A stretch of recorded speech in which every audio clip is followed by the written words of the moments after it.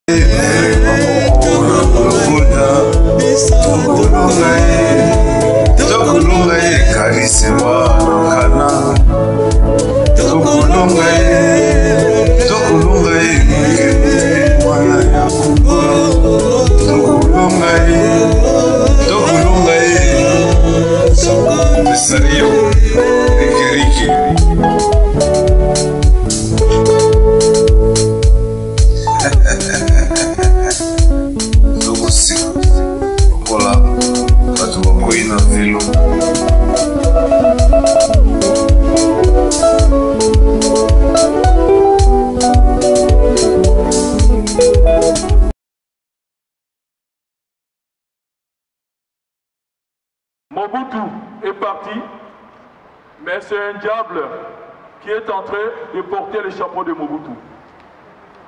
C'est cette image qu'on a aujourd'hui. C'est-à-dire, c'est la marionnette. Peuple, vous devez être vigilant. Vous devez être prêt à affronter la vérité. La vérité est que Kabila, Kanambe n'a plus de, légitimité. La vérité est que le faiseur de puissants veulent nous imposer une autre marionnette. C'est depuis 2016 que Kabila n'a plus de légitimité et que les multinationales que Glencore, les multinationales chinoises, parce qu'on n'en parle pas. On en parlera très prochainement. On ira voir les Chinois, parce que c'est les Chinois qui essayent maintenant de prendre la place de ce que les autres font. Viele hier haben sich gefreut, den Platz räumen musste. In diesem sieht man, Kabila einem, also dass äh, er ersetzt wird von einem Teufel und dass Kabila nichts anderes ist als eine weitere Marionette. Ähm und die Bevölkerung muss gewappnet sein, dass auch diese, die Interessen der multinationalen stützt, unter anderem auch von Investoren aus China von denen wir auch später noch sprechen werden, weil es sind diese chinesischen Unternehmen,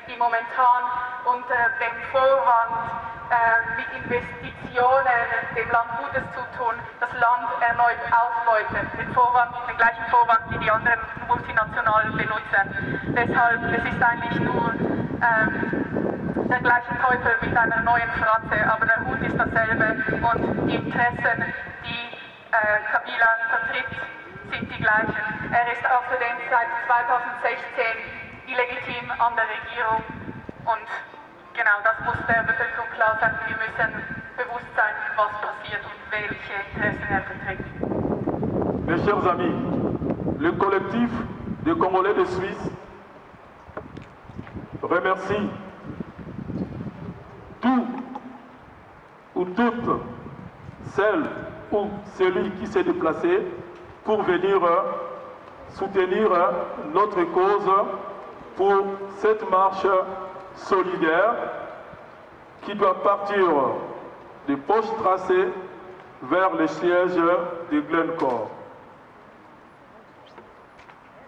Nous avons eu la possibilité que les autorités nous ont donné l'autorisation.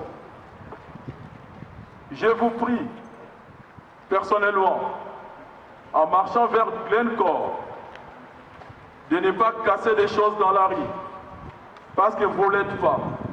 Vous êtes des personnes qui sont là pour une marche pacifique. Nous allons marcher vers Glencore et déposer un mémo.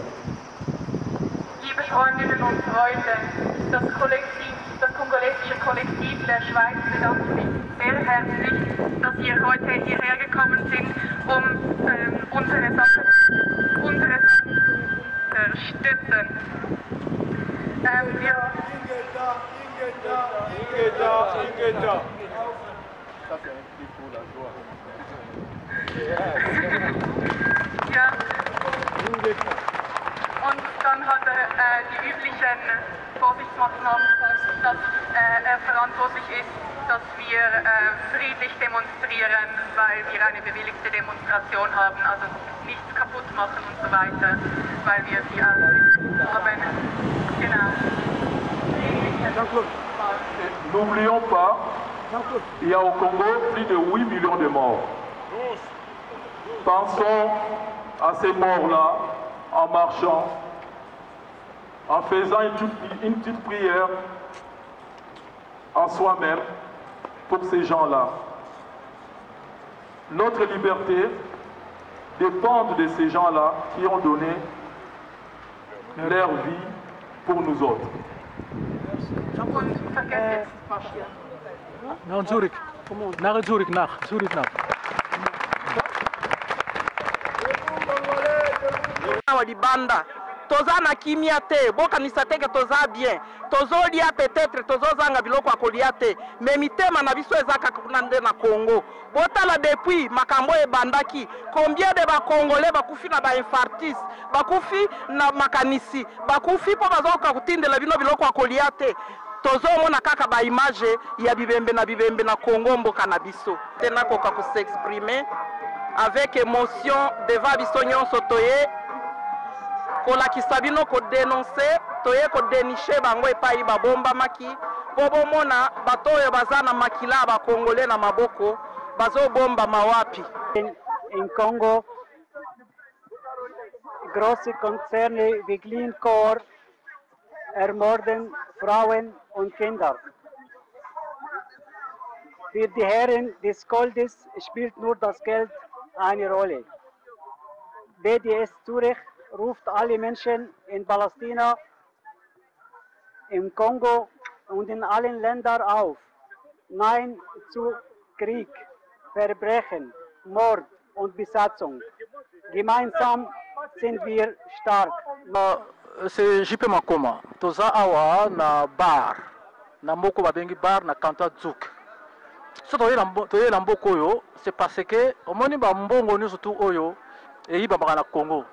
La plupart ya mbongo wana eza awa na ba banques awa na Suisse et particulièrement awa na na Zug et precisement na ville oyo babengi Baar esika le grand multinational oyo azali ko detruire mboka na biso avandi to siège na bango eza awa na mboka oyo esika toyali.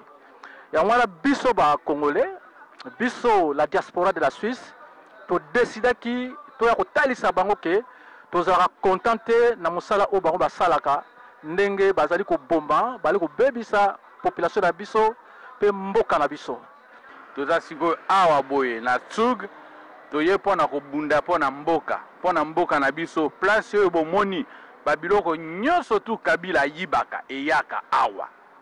Oyo nyoso tu Hillary Clinton ayibaka eyaka awa yango bomoni biso lelo ya bo toye koyebisa Glencore tolobi si tu veux travailler normalement avec les congolais nous sommes tout à fait d'accord mais si tu es là pour travailler avec les sang des congolais nous vous disons non et jusqu'au bout. Jusqu'au boutisme oblige donc voilà towuti Genève toye awa na canton ya Zug precisement na direction ya Glencore pona ko denoncer vraiment ba misala na ya mabe azo sala vraiment na Congo donc euh, pour ceux là qui me connaissent vraiment pas donc euh, nazali Justin jusqu'au bout ya, Los, ya Genève alors euh, bandeko ya biso ya Zurich vraiment bandeko bana Congo Baye nkita ya mboka ya Congo soki lelo toye awa na mboka oyo mboka oyo eza mboka moko na kati ya Suisse na Zug awa ezali bar donc ntina toye awa eza mpo na ko denonce kotelemela ba miyibi oyoyo baza kosala que bana ya Congo balelaka bana ya Congo bakufaka bana ya Congo bamonaka mpasi Et puis bango ba soutenaka eh, ba politiciens oyo tobengaka ba politichiens ya Congo bakokaka koyiba biso, bakoka kosala ndenge baza kosala. Yango wana biso tolobaki marche oyo toye lelo awa kotelemela bato oyo, toye mpo na kobina te, toye mpo na koyemba te, toye mpo na tolakisa bango ke biso tolembi et puis ba makita na bango oyo baza kozwila nkita na biso toyebi yango, yango toye lelo awa tolobi ke assez. Assez tolembi mboka wana eza ya mboka ya bana Congo et soki bango balingi ko negocier na bana ya Congo il faut ba negocier na biso bana Congo batika koyela biso ba paya oyo baza koboma biso pona bazwaka nkita na biso na ndenge oyo bango balingi donc eza lokola bafongoleli bango porte bazwa bakende donc biso toye awa lelo pona tokokutana na bango tokosolola na bango pona koyebisa bango ke tolembiee Sikoyo Congo au detriment ya peuple congolais sans moralite yango wana lelo non seulement eza Glen corps oyo toyeli lelo parce que asomba miba na prix mangondo abomaka na Congo azwaka nioso akendaka nango afutaka te mbongo ya ndambu bapesaka yango na ba kabila batiaka na ba banque oyo boyokaki ebimisaki makambo ya ba Panama papers soki toza na ba konzi oyo baza tellement ba zoba bazo kanisa ke soki ba bombi mbongo na bango libanda bako salela yango ba yeba ke ba kosa yango wana ba ndeko ba bolingo toujours kaka na cadre ya combat ya liberation ya Congo sans minduki na esprit oyo nzambe atindela biso ata ke mama ki mama kimpavita na sima ya papa kimbangu baloba to bundela Tobunde yo be na bomoto pe na bolingo. Lelo toye na bar awa po na koyebisa ba multinationaux tobandi na oyo ya liboso ba multinationales bokolimbisa monoko ebetaka libaku. Ba multinationales nionso oyo eza ko exploiter Congo au detriment ya peuple congolais et puis au prix ya makila ya Congo bayeba ke mokili mobimba eyebi bango et puis biso toyebi bango particulierement. Toza batu ya bitumba te, toye awa pona kolakisa mokili que toyebi nani monguna na biso, nani ennemis. ya libanda tokoki pe kosala quelque chose yango lelo toye kotelema kotambola koloba totelemela ba societe oyo oyo ezali ko soutenir regime ya ya mboka ba societe oyo ezali ko profite na ba richesse ya mboka oyo que bana mboka bazali ko profiter na yango te, lelo tozali kotelemela awa compagnie oyo Glencore, na oyo ye azali kosala na kati na Congo, tozali kosepela na yango te, yango toye kotalisa ye mecontentement na biso. Ba guerres na Est likolo ya mboka ya societe oyo Glencore, Glencore ebebiseli biso mboka, yango lelo totelemi, tala kaka toza 14 heures, tokati ba misala, toye kaka pona tolakisa, to denoncer.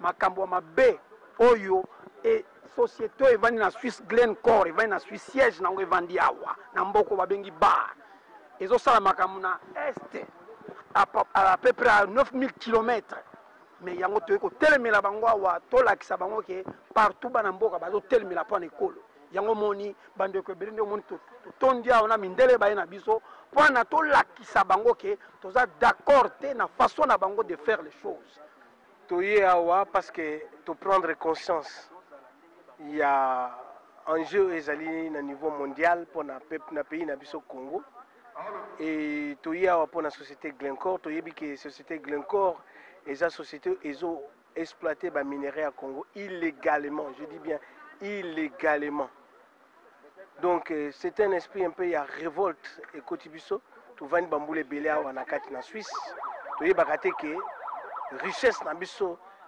e, e participaka na kati ya, ya développement mpe ya, ya, ya, ya pays oyo mais d'une façon ya moyibi yango wana biso tokovanda ndenge wana te ke tovanda o oh, parce naza pasteur obien mpo naza nani navanda non non non non non c'est le temps ke biso bacongolais to se lever to comprendre que c'est le temps que ba biloko wana e cesser tout ce mechancetes oyo bazo ko exploiter peuple bazo sala ata nzela moko te bazo sala ba contrat moko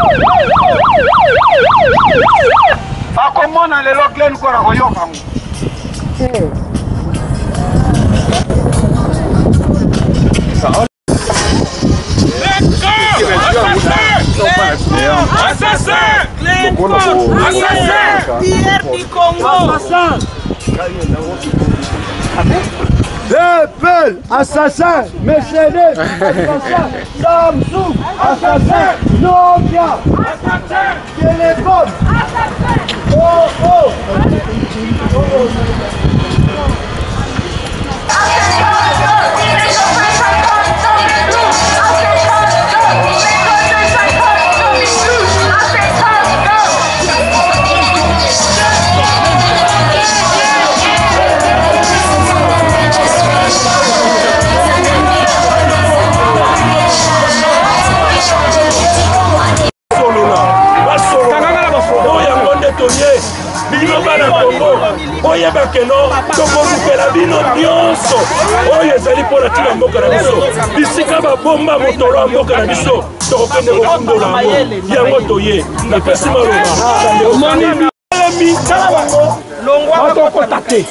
Bomoni ke toko bunda etumba. Oza komona.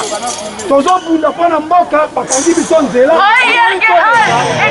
Oyenge hal. Oyenge hal.